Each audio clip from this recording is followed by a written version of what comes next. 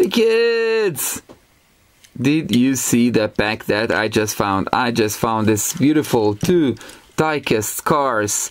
Very unique diecast cars. The non-brand, that's a non-brand. And but it has a great wheeling and it's all metal. All metal, not part of it, not this is made of plastic and um, this is it actually. So that's a police car, a green police car, and that's a red tractor, a farm tractor, or a construction site tractor.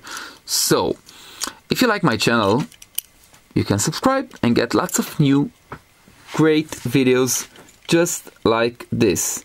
Okay? And you can ask for other videos, you can ask for and uh, other toys and other stickers and whatever you think.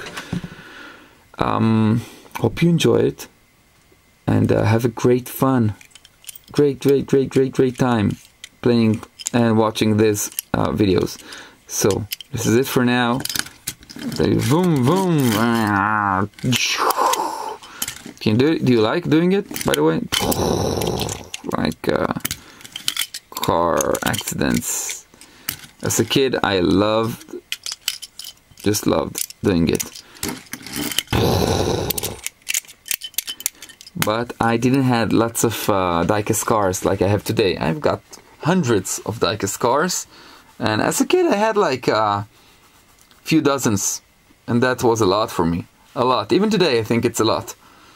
So, if you like my channel, please subscribe and get more funky and great videos like this.